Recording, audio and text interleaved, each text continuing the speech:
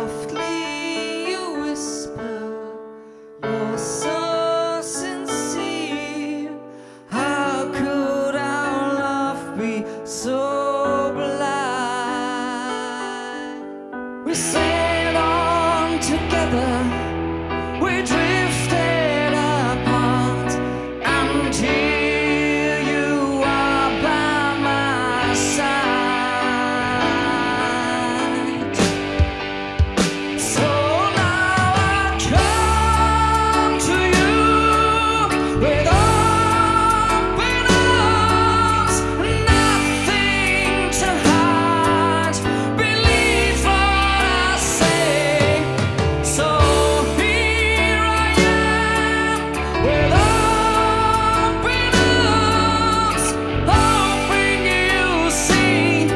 What your love means to me, open up.